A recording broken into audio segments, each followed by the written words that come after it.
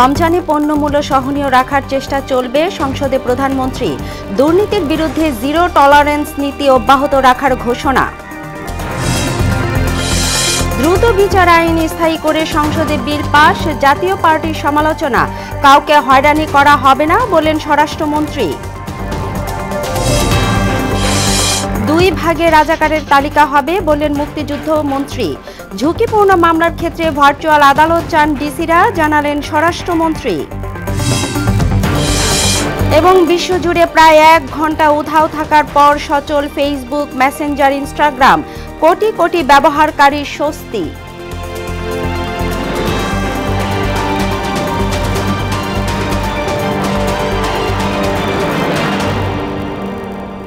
আসসালামু আলাইকুম। সবাইকে মোহনা সংবাদে স্বাগত। শুনছিলেন শিরোনাম, সঙ্গে আছি তাবশিরা লিজা। এবার বিস্তারিত।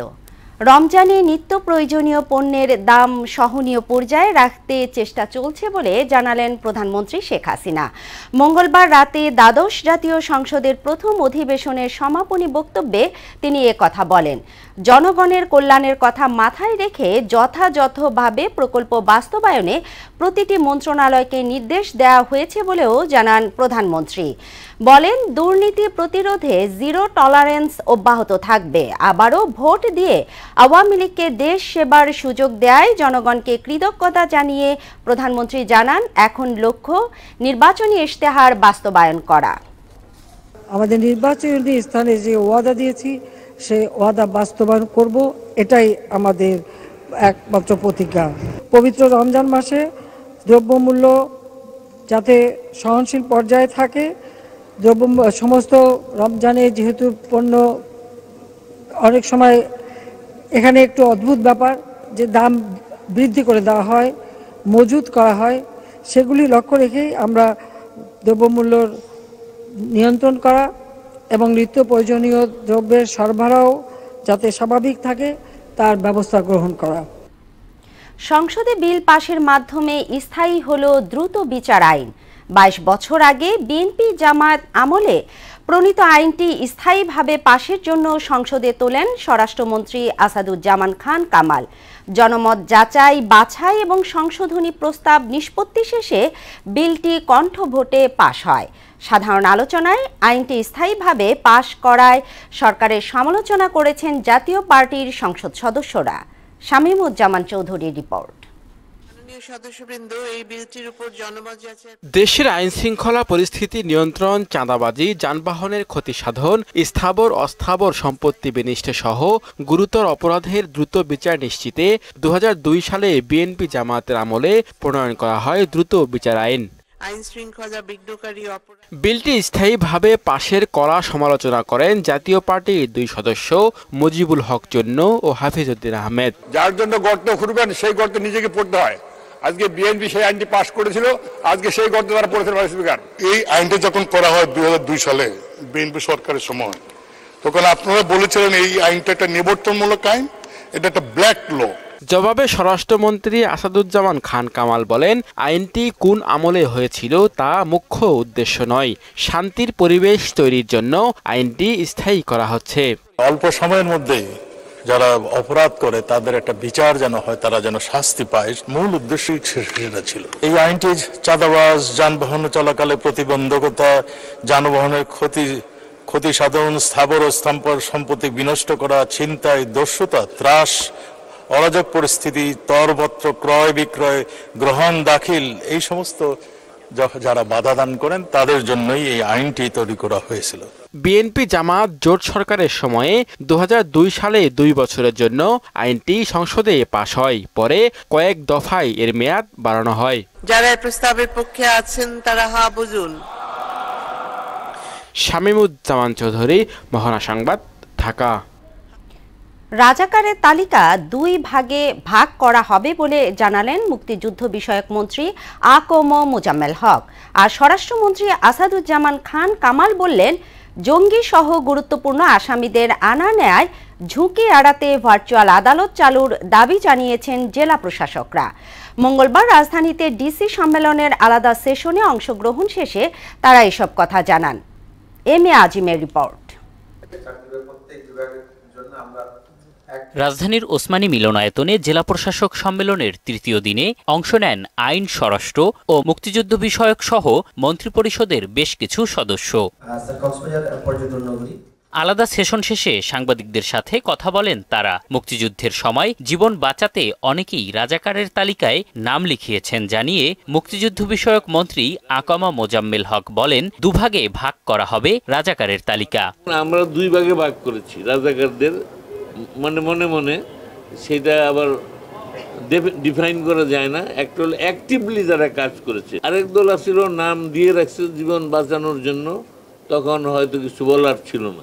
আইনমন্ত্রী আনিসুল হক জানান আদালতে মামলা জট কমাতে জেলা প্রশাসকদের নির্দেশনা দেয়া হয়েছে। জেলা প্রশাসক মহোদয়ের কাছে সহযোগিতা চেয়েছি যে আমরা যে মামলা জটে সাফার করছি সেই মামলা জট নিরসনের জন্য তারা যেন আমাদেরকে সহযোগিতা করেন। এরপর কথা বলেন তথ্য ও সম্প্রচার এবং ডাক টেলিযোগাযোগ ও তথ্য প্রযুক্তি প্রতিমন্ত্রী। গুজব রোধে অনিবন্ধিত পোর্টাল বন্ধ সহ সরকারি কৌশলের কথা জানান তারা। অনলাইনে কতগুলো আনরেজিস্টার্ড পোর্টাল আছে?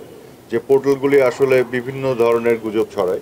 তো আমরা সেগুলোকে স্ট্রিমলাইন করাচ্ছি। গুজব প্রতিরোধ করার জন্য আমরা তাদেরকে চারটা কৌশলগত বিষয়ে সচেতনভাবে কাজ করার আমরা আহ্বান জানিয়েছি। দুপুরে সেশনে আসেন স্বরাষ্ট্রমন্ত্রী আসাদুজ্জামান খান কামাল। জঙ্গিসহ গুরুত্বপূর্ণ আসামিদের আনা নেয়ার ঝুঁকি এড়াতে ডিসিরা ভার্চুয়াল আদালত চালুর দাবি করেন বলে জানান তিনি। বাংলাদেশের সব জায়গায় ভার্চুয়াল কোর্ট স্থাপন করা যায় কিনা বিশেষ করে জঙ্গিদের আনা নেওয়া একটা রিস্কি ব্যাপার হয়ে থাকে যারা নাকি ওই ই সেলে থাকে। সেই সেলের বন্দীদের এরা সবসময়ই যেহেতু এরা জঙ্গি যেহেতু এরা বিভিন্ন ধরনের ক্রাইমের সঙ্গে জড়িত। এই ধরনের কয়েদের ওই ভার্চুয়াল কোর্টের মাধ্যমে করা যায় কিনা সেইটা নিয়ে প্রশ্ন আসছে। মাদক নির্মূলে সামাজিক সচেতনতা বাড়াতে জেলা প্রশাসকদের কাজ করার তাগিদও দিয়েছেন স্বরাষ্ট্রমন্ত্রী। আমরা সেই জায়গাটিতে কাজ করার জন্য জেলা প্রশাসকদেরকে বলছি। এম এ আজিম মোহনা সংবাদ ঢাকা। বেলি রোড ট্র্যাজেডির পর নড়ে চড়ে বসেছে সংশ্লিষ্ট সব সংস্থা। চলমান অভিযানের অংশ হিসেবে খিলগাঁওয়ে একটি ছয়তলা ভবন এবং বেইলি রোডে দুটি রেস্টুরেন্ট সিলগালা করে দিয়েছে রাজুক এবং ঢাকা দক্ষিণ সিটি কর্পোরেশন। এদিকে বাংলাদেশ রেস্তোরাঁ মালিক সমিতির অভিযোগ, এই খাতকে দখলে নিতে বড় কর্পোরেট কোম্পানিগুলোর ইশারায় অন্যায়ভাবে এই অভিযান শুরু হয়েছে। বাকিটা জানাচ্ছেন এমদাদুল হক খান। বেইলি রোডের গ্রিন কোজি কটেজ ভবনে আগুনে ছিচল্লিশ জনের প্রাণহানির পর যেন ঘুম ভেঙেছে নজরদারি সংস্থার। কদিন ধরেই রাজধানীর বিভিন্ন এলাকায় অভিযান চালিয়ে অর্ধ শতাধিক রেস্টুরেন্ট বন্ধ সহ একচল্লিশ জন কর্মচারীকে আটক করা হয়েছে। মঙ্গলবার সকাল থেকে ফায়ার সার্ভিসকে নিয়ে অভিযানে নামে রাজ্যক ও ঢাকা দক্ষিণ সিটি কর্পোরেশন। বেইলি রোডের সুলতান ডাইন্স ও নবাবী বোস রেস্টুরেন্ট সিলগালা করে দেয়া হয়। ঢাকা দক্ষিণ সিটির নির্বাহী ম্যাজিস্ট্রেট বলেন, সিলগালার সময় মালিক পক্ষের কাউকে পাওয়া যায়নি। অভিযানের খবরে বেশিরভাগ রেস্টুরেন্টই বন্ধ রয়েছে। আইন না মেনে সিলিন্ডার ব্যবহার করে রেস্টুরেন্টগুলো পরিচালনা করছিল, এই জন্য আমরা ওই ভবনটার যে অগ্নি ঝুঁকি থাকার কারণে ফায়ার সার্ভিস তাদেরকে অগ্নি ঝুঁকিপূর্ণ একটা ভবন হিসেবে চিহ্নিত করেছে এবং আমরা দক্ষিণ সিটি কর্পোরেশনের পক্ষ থেকে ওই ভবনটা সিলগালা করে দিয়েছি। ওই ভবনে কোনো যে রেস্টুরেন্ট মালিক বা কোনো মালিক পক্ষকে পাই না এই জন্য আমরা তাদেরকে জরিমানা করতে পারি না খিলগাঁওয়ে সিলগালা করা একটি ভবনের মালিক বলেন নিয়ম মেনেই এখানে রেস্টুরেন্ট পরিচালনা করা হচ্ছিল। আমরা আইনের ফলোয়ার আইনকে মেনে চলতে হবে আর আপনারা আইন আমাদেরকে বেঁধে দিচ্ছেন। তো আমাদের এখানে আসলে একটা কোলাবোরেশনের প্রয়োজন আছে। আমি বিল্ডিংয়ের মালিক হিসেবে মনে করি, যদি আমাদের এখানে অবশ্যই ব্যত্যয় থাকতেই পারে, সেই ব্যত্যয়গুলো কি? সেই জিনিসগুলো আমরা যথাসাধ্য, যত তাড়াতাড়ি সম্ভব এটাকে আমরা রিইনস্টেট করতে চাই, যেন এটা সবার জন্য সেফ হয়। রেস্টুরেন্টের মালিকেরও যেমন আছে, বিল্ডিংয়ের মালিকেরও যেমন আছে, ঠিক একইভাবে ডিফেন্সিভ দেখার জন্য আমাদের civil aviation city corporation Rajuk, ওনাদেরও বেশ কিছু, আমি বলব যে ওনারা যথাসাধ্য কাজ করলেও ওনাদের কিছু কিছু জায়গায় ওনাদের কিছু কোলাবোরেশনের অভাব আছে। এদিকে রাজধানীর বিজয়নগরে নিজ কার্যালয়ে সংবাদ সম্মেলন করে বাংলাদেশ রেস্তোরাঁ মালিক সমিতি। এতদিন বিভিন্ন সুবিধা নেওয়া সংস্থার লোকেরাই এখন হয়রানি করছে বলে অভিযোগ করেন সংগঠনের নেতৃত্ব। আমাদের ত্রিশ লক্ষ শ্রমিক কাজ করছে। এতগুলো রেস্তোরাঁ তৈরি হয়ে গেছে তাহলে দিনের পর দিন প্রশাসন কেন ঘুমিয়েছিল? এখন হয়রানি বলতে সারা ঢাকা শহরে একটা তাণ্ডব চলছে। কত লাইসেন্স নিব? তাহলে লাইসেন্স ছাড়া সিলিন্ডার কীভাবে বিক্রি করে? আপনার ঘরেও তো সিলিন্ডার আছে। কর্পোরেট কোম্পানিগুলো রেস্তোরাঁ খাতকে দখল নিতে চায় বলেও অভিযোগ করেন তিনি। কয়েকজন ব্যবসায়ী তাদের হীন উদ্দেশ্য বাস্তবায়ন করতে চায় কিনা এই মার্কেট নিয়ে যাওয়ার জন্য। এমদাদুল হক খান মোহনা সংবাদ ঢাকা। ফিজিওথেরাপি চিকিৎসা বাত, ব্যথা, প্যারালাইসিস সহ অনেক জটিল শারীরিক সমস্যার জন্য জনপ্রিয় হয়ে উঠছে। এই সুযোগে অলি গলিতে গড়ে উঠছে অসংখ্য থেরাপি সেন্টার, যেখানে প্রতিনিয়ত প্রতারিত হচ্ছে গ্রাহক বা রোগীরা। মঙ্গলবার রাজধানীতে এক আলোচনা সভায় এসব কথা উঠে আসে। এতে জাতীয় ভোক্তা অধিকার সংরক্ষণ অধিদপ্তরের মহাপরিচালক এ এইচ এম শফিকুজ্জামান বলেন ক্লিনিক্যাল আইনের মানদণ্ডে না চললে এদের বিরুদ্ধে ব্যবস্থা নেওয়া হবে। বাকিটা উষাফের দোষের রিপোর্টে। ফিজিওথেরাপি চিকিৎসা আন্তর্জাতিকভাবে স্বীকৃত স্বতন্ত্র চিকিৎসা পদ্ধতি। দীর্ঘমেয়াদী রোগ বিশেষ করে বাত ব্যথা ও পক্ষাঘাত রোগীদের সমস্যা ওষুধ দিয়ে নিরাময় সম্ভব নয়। এ অবস্থা থেকে উত্তরণে রোগ নিরাময় ও প্রতিরোধে প্রয়োজন যথাযথ ফিজিওথেরাপি চিকিৎসা। কাউরন বাজারে জাতীয় ভোক্তা অধিকার সংরক্ষণ অধিদপ্তরে আয়োজিত মতবিনিময় সভা এসব কথা উঠে আসে। ফিজিওথেরাপির যে সেক্টরটি আছে স্বাস্থ্য মেডিকেল রিহেবিলিটেশনের ক্ষেত্রে এটি অস্বীকার করার কোনো সুযোগ নেই। ফিজিওথেরাপির নামে রোগীরা অনেক ক্ষেত্রেই প্রতারিত হচ্ছে বলেও জানান আলোচকরা। অনেক সেন্টারই আছে যেখানে সঠিক ফিজিওথেরাপি চিকিৎসাটা পাচ্ছে না এখানে একটা প্রতারণা তৈরি হচ্ছে। এই ফিজিওথেরাপিস্ট পরিচয় দিয়ে দেখা যায় যে অনেকেই বিভিন্ন সেন্টার বিভিন্ন হাসপাতাল ক্লিনিক বা বিভিন্ন জায়গায় ভোক্তাদের অধিকার ক্ষুণ্ণ করছে।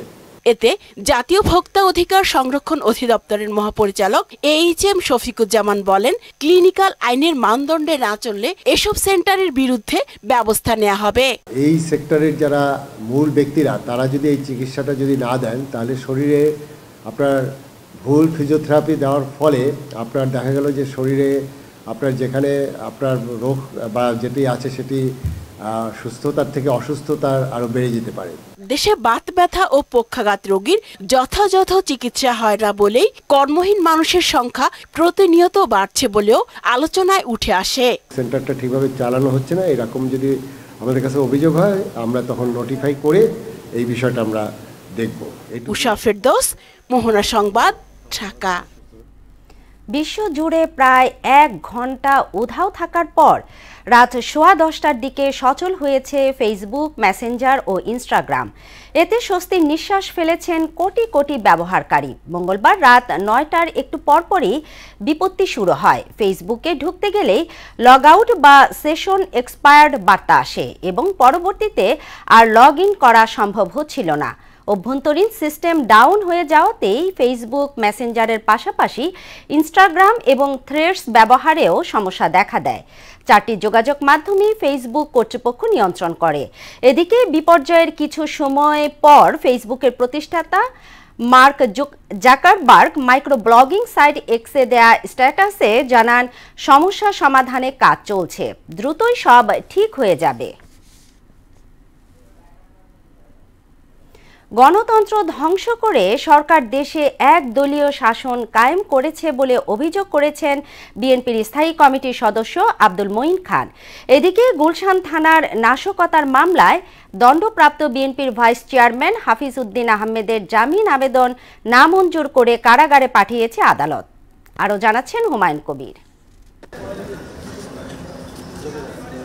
ঢাকা মহানগর উত্তর বিএনপির সদস্য সচিব আমিনুল হককে দেখতে তার রূপনগরের বাসায় যান দলের স্থায়ী কমিটির সদস্য আব্দুল মঈন খান। তার সঙ্গে আলাপে কারাগারে দুর্বিষহ অবস্থার কথা তুলে ধরেন আমিনুল হক। রাজনীতিবিদদের সাথে যেই ধরনের মানে অসৌজন্যমূলক আচরণ করা হয়েছে সেটা আপনি রিমান্ডে বলেন সেটা আপনি জেলখানাতে বলেন। যেমন আমি আমার নিজের কথাই বলি আমি তিন মাস ছয় দিন জেল খেটেছি চারতলায় ছিলাম চারতলা থেকে একদিনের জন্য আমাকে নিচে নামতে দেওয়া হয়নি। আমাদেরকে প্রথমেই বলে দিয়েছে যে আপনারা যেভাবে আমাদের ইনস্ট্রাকশন সেভাবে চলেন না হলে কিন্তু আমরা চালান করে দিব আপনাদেরকে। মঈন খান অভিযোগ করেন সরকার দেশের বিচার বিভাগ প্রশাসন ও নির্বাচন ব্যবস্থাকে ধ্বংস করে দিয়েছে। এই দেশের সমাজ ব্যবস্থা ধ্বংস হয়ে গিয়েছে দুর্নীতিতে পুরো দেশ ছেয়ে গিয়েছে এই দেশের প্রশাসন ধ্বংস হয়ে গেছে এই দেশের বিচার ব্যবস্থা ধ্বংস হয়ে গেছে এই দেশের নির্বাচন ব্যবস্থা ধ্বংস হয়ে গেছে এই দেশের পার্লামেন্ট ধ্বংস হয়ে গেছে সরকার বুঝতে পারছে না এদেশের সরকার প্রতিহিংসা ছেড়ে সহ অবস্থানের রাজনীতিতে ফিরিয়ে আসতে সরকারের প্রতি আহ্বানও জানান তিনি।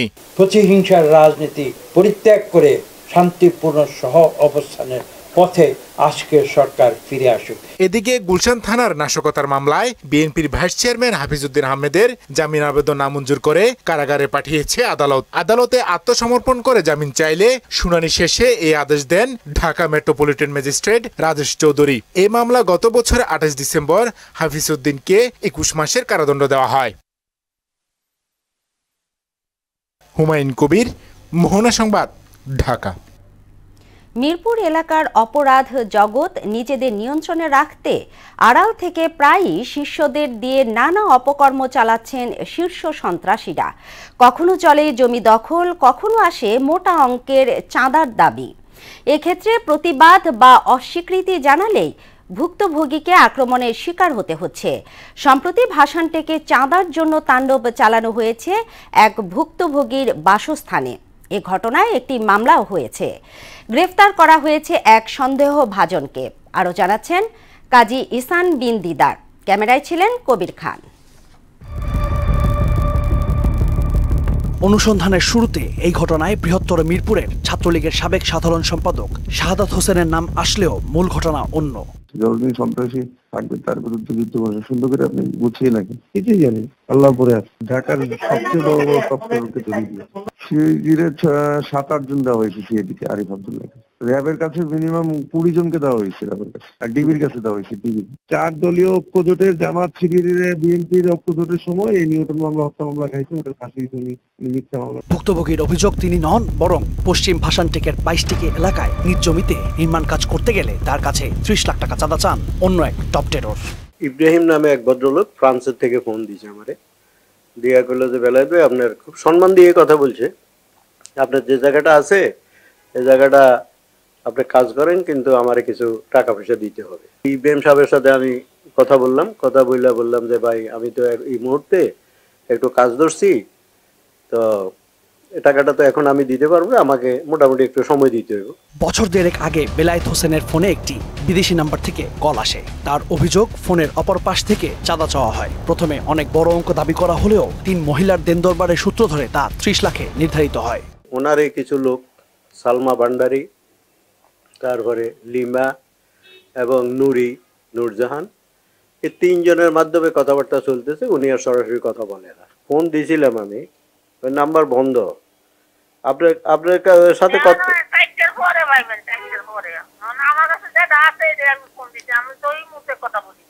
জানা যায় এক পর্যায়ে ষাটর্ধ বেলায় চাঁদা না দেওয়ার সিদ্ধান্ত নেন আর এর জের ধরেই কদিন আগে ভাঙচুর চালানো হয় তার স্থাপনায়। রক্তাক্ত জখম করা হয় তার বাড়ির কেয়ারটেকারকে। চলে লুটপাটও।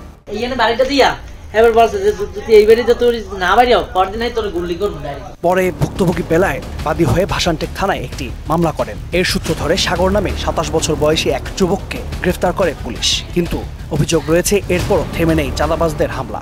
হয়েছে এবং তথ্যের ভিত্তিতে অন্যগুলো আমরা ধরার ট্রাই করতেছি ভাই আমরা অব্যাহত আছে। ওটা হচ্ছে ওর নাম হচ্ছে সাগর ভাই। আসেন সাক্ষাতে কথা বলব পুলিশ বলছে মিরপুরে শীর্ষ সন্ত্রাসীদের যে গ্রুপ আছে তার প্রতিটিতেই রয়েছে আট থেকে দশ জন করে সদস্য। এদের প্রত্যেকেই বহন করে আগ্নেয়াস্ত্র। হোয়াটসঅ্যাপে গ্রুপ খুলে নিজেদের মধ্যে চলে যোগাযোগ। কাজী ইহসান বিন্দিদার মোহনা সংবাদ ঢাকা। বাজারে একশো তেষট্টি টাকায় বোতলজাত সয়াবিন তেল এবং একশো উনপঞ্চাশ টাকায় খোলা তেল পাওয়া না গেলে তাৎক্ষণিক ব্যবস্থা নেওয়া হবে বলে জানিয়েছেন বাণিজ্য প্রতিমন্ত্রী আহসানুল ইসলাম টিটু। মঙ্গলবার রাজধানীর একটি হোটেলে ডি এইটের সুপারভাইজরি কাউন্সিলের সপ্তম সভা শেষে সাংবাদিকদের তিনি কথা বলেন দু সালের মধ্যে জোটের সদস্যভুক্ত দেশে পাঁচশো বিলিয়ন ডলার আন্ত বাণিজ্য বৃদ্ধির লক্ষ্যমাত্রার কথাও জানান প্রতিমন্ত্রী। সদস্য রাষ্ট্রসমূহের শুল্ক, অশুল্ক বাধা শনাক্তকরণ ও অপসারণের উদ্দেশ্যে স্কোপিং অ্যাসেসমেন্ট পরিচালনার জন্য একটি কারিগরি কমিটি গঠনের সিদ্ধান্ত হয় সভায়।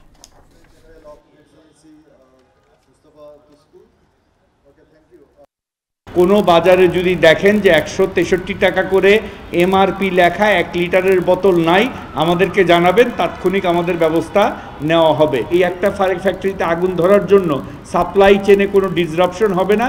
কেউ যদি এটাকে সুযোগ হিসাবে কিছু করতে চায়, আমরা তাৎক্ষণিক তার বিরুদ্ধে ব্যবস্থা নিব। পরিকল্পনা অনুযায়ী শ্রম আইন পরিবর্তন করা হবে বলে জানিয়েছেন প্রধানমন্ত্রীর বেসরকারি শিল্প ও বিনিয়োগ উপদেষ্টা সালমান এফ রহমান। রাজধানীর একটি হোটেলে সাস্টেইনেবল অ্যাপারেল ফোরামে এ কথা জানিয়ে তিনি বলেন, শ্রম আইন নিশ্চিতে প্রতিশ্রুতি মাফিক রোড ম্যাপ তৈরি করা হচ্ছে। সালমান রহমান জানান, উৎপাদনের আগে এবং পরের ধাপে পণ্য রিসাইক্লিংয়ের ব্যাপক সম্ভাবনা থাকায় পরিবেশ রক্ষায় জোর দিয়েছে সরকার। দেশের অনেক পোশাক কারখানা বিশ্বের সর্বোচ্চ মানদণ্ডের পরীক্ষায় উত্তীর্ণ হয়েছে বলেও জানান তিনি। Affecting every person in the globe. Uh, the war in uh, Ukraine uh, and uh, between Ukraine and Russia has led to uh, sanctions and counter-sanctions and all of that, uh, where we are absolutely not involved in that conflict in any way or in that dispute in any way, but are definitely affected cyber নিরাপত্তায় নিজস্ব সক্ষমতাকে কাজে লাগিয়ে তথ্য সুরক্ষা বলয় গড়ে তোলার হবে বলে জানিয়েছেন ডাক, টেলিযোগাযোগ ও তথ্য প্রযুক্তি প্রতিমন্ত্রী জোনায়েদ আহমেদ পলক। মঙ্গলবার রাজধানীর একটি হোটেলে সাইবার সিকিউরিটি সামিটে তিনি একথা বলেন।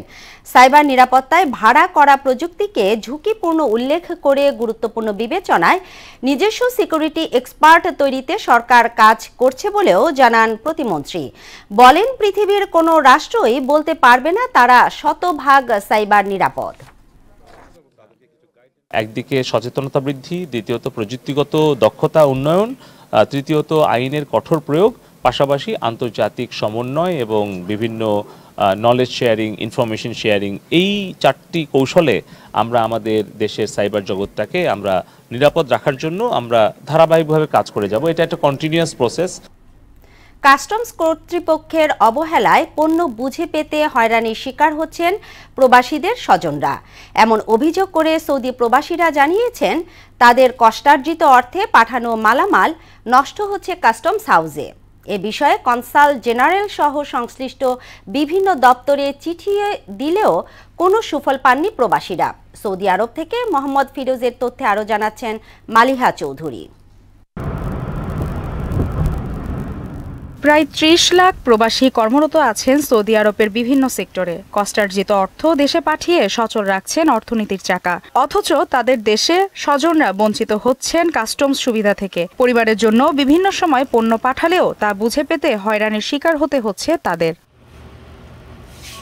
কাস্টমস ও শুল্ক কর্তৃপক্ষের ব্যাগেজ রুলের আওতায় প্রয়োজনীয় শুল্ক পরিশোধ করে আন্তর্জাতিক বিমানবন্দর দেশে পাঠান প্রবাসীরা। কিন্তু গত এক বছর যাবৎ অনেক প্রবাসীর পাঠানো মালামাল কমলাপুর আইসিডি কাস্টমস কর্তৃপক্ষ খোলা আকাশের নিচে আটকে রেখেছে বলে অভিযোগ করেছেন তারা। মাল পাঠাই ছয় সাত মাস হয়ে গেছে কিন্তু মাল এখনও বাংলাদেশে পৌঁছাইতেছে না। এগুলো তো আমরা বাংলাদেশের সরকারের টাকা দিচ্ছি। প্রতিটা কোটিনে আমাদেরকে বারো লাখ তেরো লাখ চোদ্দ লাখ পনেরো লাখ টাকা করে দিচ্ছি দিতেছি। তাহলে এই কাজগুলো বদ্ধ করে রাখে আমাদেরকে হয়রানি গুলা কেন করে? এত দুঃখের কষ্টের মালগুলা যে কষ্ট করে মালগুলা ফাটাইছি। এখন এই মালগুলা এখন আট মাস হয়ে গেছে মালগুলা আটকে রাখা হয়েছে। রমজান এবং ঈদকে কেন্দ্র করে পরিবারের সদস্যদের জন্য প্রয়োজনীয় সামগ্রী পাঠালেও কাস্টমস খালাস না দেওয়ায় প্রবাসীরা সেগুলো বুঝে পাচ্ছেন না। এর ফলে গত এক বছর পর্যন্ত বিমানবন্দরের কার্গো হলে জমে আছে দুশোটি চালান। এতে পণ্য আছে প্রায় নব্বই মেট্রিক টন। এসব পণ্য খালাসে প্রধানমন্ত্রীর হস্তক্ষেপ কামনা করছেন প্রবাসীরা। যে পণ্যগুলো সেগুলো আটক হয়েছে সেগুলো এখন সরকারের যারা কর্তৃপক্ষ রয়েছে তারা এগুলো জনগণের কাছে পৌঁছানোর জন্য প্রবাসীদের বাড়িতে পৌঁছানোর জন্য তারা পুরো ব্যবস্থা এখানে হাতে নেয়নি। মাননীয় প্রধানমন্ত্রীর কাছে আমি বিনীত অনুরোধ জানাচ্ছি যাতে আমাদের প্রবাসীদের এই কষ্টরঞ্জিত মালগুলো অতি তাড়াতাড়ি সবার ঘরে পৌঁছে যায়। আমার প্রধানমন্ত্রীর কাছে বিনীত নিবেদন যে এই মালগুলো অতি দ্রুত যাহাতে সহজভাবে মালগুলা এই মানুষের কাছে দেওয়া যায়। বাংলাদেশ কাস্টমস কর্তৃক যারা আপনার কাজ করেন, তারা আপনার মাল ডেলিভারি দিচ্ছে না। বিভিন্ন সমস্যার কারণে। আশা রাখি আপনারা এই বিষয়ে একটু সদয় হবেন। এই বিষয়ে প্রতিকার চেয়ে প্রধানমন্ত্রী এনবিআর চেয়ারম্যান ও কনসাল জেনারেল বরাবর স্মারকলিপি দিয়েছে প্রবাসীরা। স্মারকলিপি গ্রহণ করে যথাযথ কর্তৃপক্ষের কাছে পাঠানোর কথা জানান কাউন্সিলর উম্মে হাবিবা। কার্গো ব্যাগে চালু এবং প্রবাসীদের প্রেরণকৃত যে মালামালগুলো এগুলো কাস্টম হাউস থেকে দ্রুত খালাসের বিষয়ে আমরা আবেদন পেলাম এইমাত্রই। আমরা এটি যথাযথ মন্ত্রণালয় বরাবর এটা প্রেরণ করব। এই কার্গো সেবার মান উন্নত করার পাশাপাশি পণ্য খালাসে জটিলতা দূর করে প্রয়োজনীয় ব্যবস্থা নেওয়ার দাবি জানিয়েছেন প্রবাসীরা। মালিহা চৌধুরী, মোহনা সংবাদ। এবার অগ্নিঝরা মার্চ প্রসঙ্গ। জাতির উদ্দেশ্যে ইয়াহিয়ার ভাষণ, টিক্কা খানকে পূর্ব পাকিস্তানের গভর্নর নিয়োগ এবং ভারতের উপর দিয়ে পাকিস্তানের বিমান চলাচলে দিল্লির নিষেধাজ্ঞা অব্যাহত রাখার ঘোষণা বাঙালির স্বাধিকার আন্দোলন ঘিরে একাত্তরের ছয় মার্চ ঘটে যাওয়া ঘটনাবলীর অন্যতম। রক্তঝরা মার্চে সেদিনের কথা জানাচ্ছেন মালিহা চৌধুরী।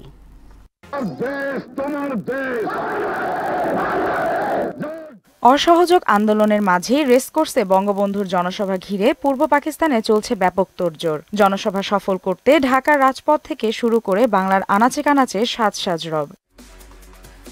শেখ মুজিবের জনপ্রিয়তা তুঙ্গে ওঠায়, বড় ধরনের ধাক্কা খায় ইয়াহিয়া খান। জাতির উদ্দেশ্যে জরুরি ভাষণে পঁচিশ মার্চ জাতীয় পরিষদের অধিবেশন ডাকেন তিনি। টিক্কা খানকে পূর্ব পাকিস্তানের গভর্নর হিসেবে নিয়োগও দেন তিনি।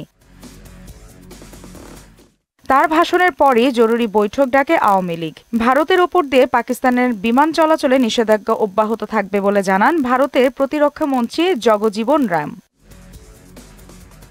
এদিন রাওয়ালপিন্ডিতে চারশো চল্লিশ জন বাঙালির ছবি ও তথ্য পাঠায় পাকিস্তানি গোয়েন্দা সংস্থার ঢাকা অফিস। বলা হয়, এরা মুজিবের একান্ত অনুগত ও বিশেষ সোর্স। এদের সঙ্গে ঘনিষ্ঠ যোগাযোগ রয়েছে শেখ মুজিবের।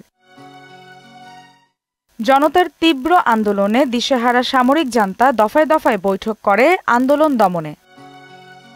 মালিহা চৌধুরী, মোহনা সংবাদ।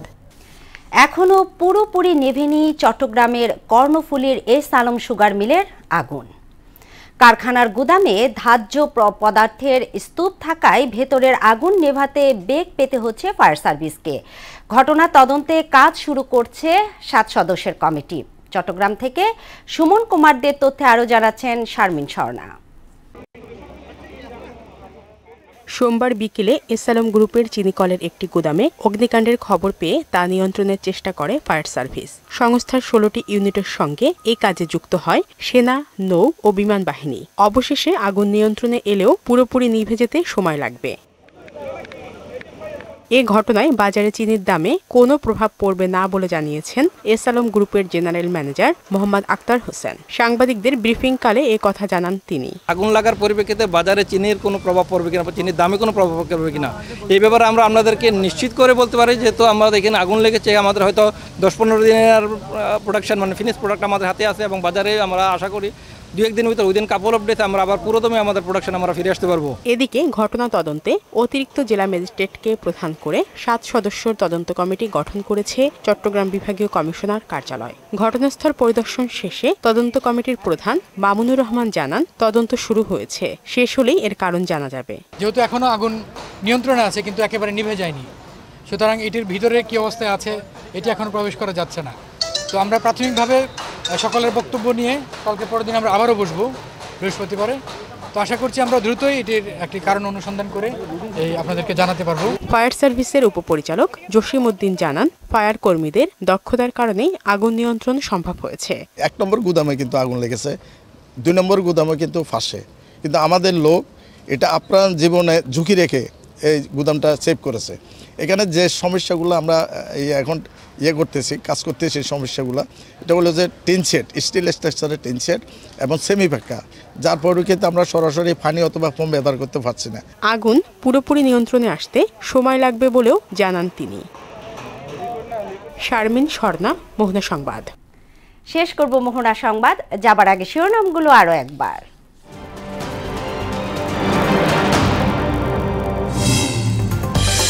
রমজানে পণ্যমূল্য সহনীয় রাখার চেষ্টা চলবে সংসদে প্রধানমন্ত্রী। দুর্নীতির বিরুদ্ধে জিরো টলারেন্স নীতি অব্যাহত রাখার ঘোষণা। দ্রুত বিচার আইন স্থায়ী করে সংসদে বিল পাশ জাতীয় পার্টির সমালোচনা। কাউকে হয়রানি করা হবে না বলেন স্বরাষ্ট্রমন্ত্রী। দুই ভাগে রাজাকারের তালিকা হবে বলেন মুক্তিযুদ্ধ মন্ত্রী ঝুঁকিপূর্ণ মামলার ক্ষেত্রে ভার্চুয়াল আদালত চান ডিসিরা, জানালেন স্বরাষ্ট্রমন্ত্রী। এবং বিশ্বজুড়ে প্রায় এক ঘণ্টা উধাও থাকার পর সচল Facebook Messenger Instagram crore crore ব্যবহারকারীর স্বস্তি। এই ছিল মোহনা সংবাদে। এছাড়া মোহনার সবশেষ খবর জানতে ভিজিট করুন W W W dot Mohona dot TV সংবাদ দেখতে পারেন ফেসবুক ও ইউটিউবে এতক্ষণ সঙ্গে থাকার জন্য ধন্যবাদ।